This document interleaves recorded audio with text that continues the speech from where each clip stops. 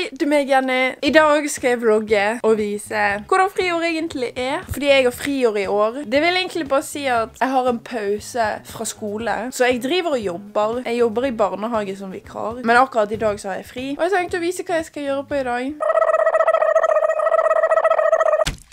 Klokken er ti på morgenen. Jeg våknet for en halvtime siden. Jeg er på kjøkkenet nå.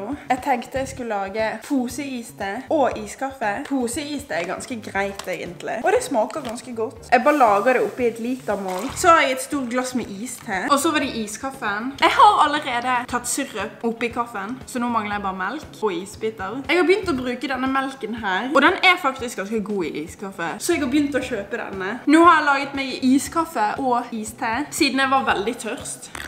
Og så skal jeg bare kaste denne calzonen i mikroen og spise den til frokost. Nå er jeg nede på rommet mitt igjen, og her er calzonen min.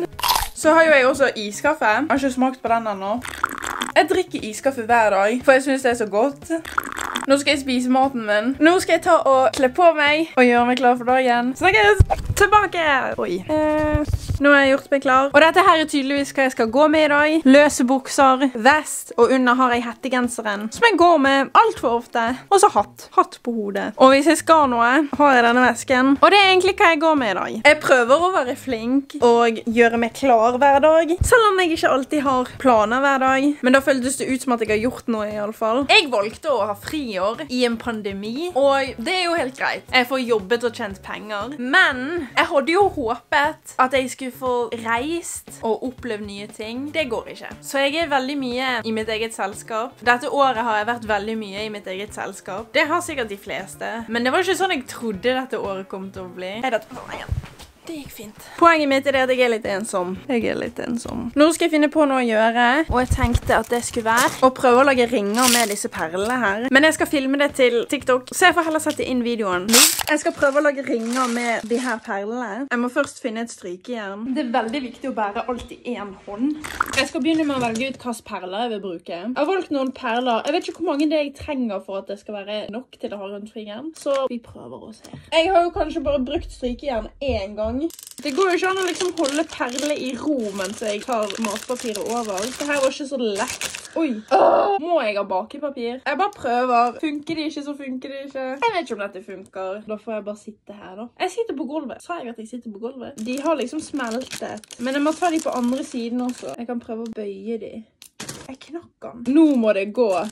Han varm. Jeg gjorde dette. Jeg skal prøve å lage litt flere. Sånn som dette her ble ringene. Den oransje er for stor. Jeg kommer ikke til å gå med alle sammen samtidig. Snakkes. Nå er jeg ferdig å lage ringer, som jeg viste. Nå er faktisk Theodor på vei til å hente meg. Han har vært på jobb. Nå er jeg på vei ned i veien til Theodor. Han ba meg som en flaske med vann til han, så da gjør jeg det. Han kommer med en veldig stor bil. Så må jeg klatre inn.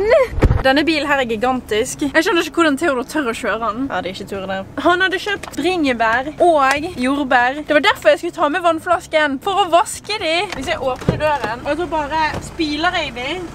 Nå begynner vi å kjøre. Jeg kjører ikke. Jeg tør ikke. Men jeg skal smake et jordbær. Jeg elsker jordbær. Dette er sånn det er å sitte i denne bilen. Jeg synes det er skummelt. Jeg skal egentlig bare være med Theodor når han skal kaste boss. Det er derfor han kjører denne bilen, for å få plass til bosset. Jeg var sulten, så vi dro på Jafs. Jeg har en milkshake. Sjokolade-milkshake. Hva skal jeg si? Og så har jeg bestilt pommes frites. Så da har jeg pommes frites og milkshake. Pommes frites. Jeg er hjemme nå. Meg og Theodor tømte boss. Ikke så spennende å filme. Nå skal jeg gjøre kveldsrutinen min og ting jeg må gjøre før jeg skal på jobb i morgen. Så snakkes vi i morgen. Nå er klokken sju på morgenen, og jeg skal ta og dra på jobb. Jeg er ferdig på jobb. Jeg er med Theodor. Jeg møtte han etter jobb, og vi ville finne på noe. Så nå er vi på Jafs. Dag to. Uh, vi var her i går. Dette er ikke bra. Jeg er solbrent. Jeg har vært ute på jobb. Jeg er genert. Tror folk på meg hvis jeg sier at jeg er genert? Det er et spørsmål til alle andre enn meg. Vanligvis så sovner jeg når jeg kommer hjem fra jobb. Så sover jeg kanskje en time. Så i dag skal jeg prøve å unngå å sovne etter jobb. Så nå er jeg på Jafs.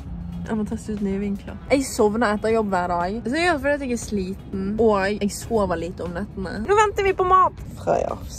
Middag! Nå har vi fått maten, og vi skal ta kjøre til et sted hvor vi kan sitte i bilen og spise. Men jeg må smake på milkshaken først. Like god som i går! Her er maten min. Jeg kan smake. Jeg er hjemme igjen fra å spise middag med Theodor. Klokken er kvart over syv på kvelden. Jeg skal på jobb igjen i morgen. Det er sånn hverdagen min er. Jeg ser ikke så mange folk. Jeg gjør ikke så mye. Målet mitt er jo å få flyttet ut snart, da. I dag er det lørdag. I går var det fredag, og etter jobb var jeg så sliten at jeg ikke greide å snakke. Jeg var liksom helt uh. Men i dag er det lørdag, og jeg tenkte jeg skulle smake denne. Dette er Starbucks iskaffe med sjokolade. Og den har ikke jeg smakt før jeg tenkte å smake den i dag. Det er egentlig bare det som er planen min. Pappsugerør. Smart. Nå skal jeg smake. Han smakte sjokomelk. Er det helt det tatt kaffe i denne? Han smakte sjokomelk. Han smakte mørk sjokomelk. Jeg har altfor mange videoer på denne kanalen som handler om kaffe eller iskaffe. Denne var litt kvalmende. Jeg har nesten drukket opp hele. Og jeg er, jeg, er litt kvalm. Jeg likte den, men den var litt, den var litt for mye. Så jeg likte den ikke. Dette er en helt annen dag senere. Jeg øver meg på å lage lengre videoer. Men du ser jo hvordan det går når denne videoen her var to minutter lang. Men jeg øver. Hvis du ser dette, kommenter. Oi. Hvis du ser dette, kommenter videoer du vil at jeg skal lage. Hvis det er noe du vil at jeg skal lage, så kan jeg prøve å lage de og ha de mer enn to minutter lang. Kanskje jeg bare ikke er så flink. Men hvis du vil, gjerne lik denne videoen. Følg meg på Instagram, add meg på Snapchat. Alt det der. Og så snakkes vi nu medan vi roar det bra. Rainy day